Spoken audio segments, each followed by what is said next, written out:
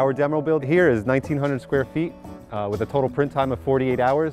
After the concrete was set up and dry enough, we had the truss roof system installed, sheathed, roof, shingles, everything finished off, and we finished off the interior to give an open house.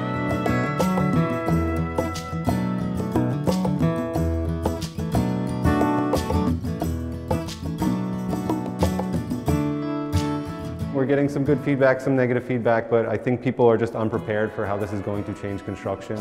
Uh, I, I, see my peers and younger minds, they know 3D printing as an everyday thing. There's some older tradesmen and gentlemen in the field that don't know what 3D printing is. How can you, how can you make a house out of that? But, but it's, it's a viable way to build. We are using concrete, which is abundant and uh, used every day all over the world.